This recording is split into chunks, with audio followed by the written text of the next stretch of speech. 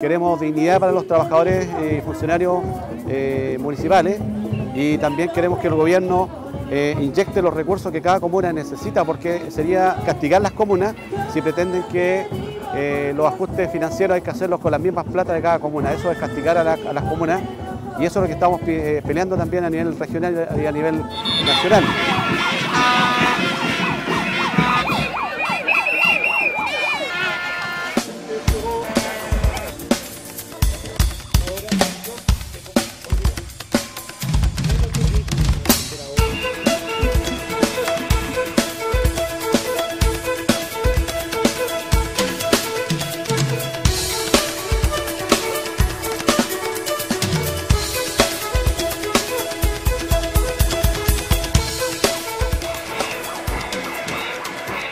Y un llamado al gobierno esencialmente a que escuche a los trabajadores municipales, también a los alcaldes y por tanto se arme una mesa de carácter tripartito para que no estén pensando o, tratando de orientar la resolución del conflicto cargándoselo a los presupuestos municipales.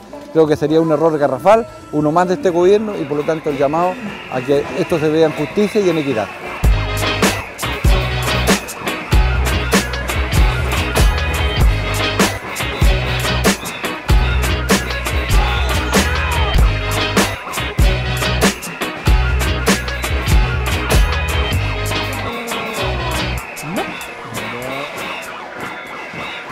Creo que la Asociación de Municipios, los alcaldes que están aquí presentes, han dado un ejemplo de eh, poder reunirnos, de poder eh, conversar nuestros temas junto a sus funcionarios.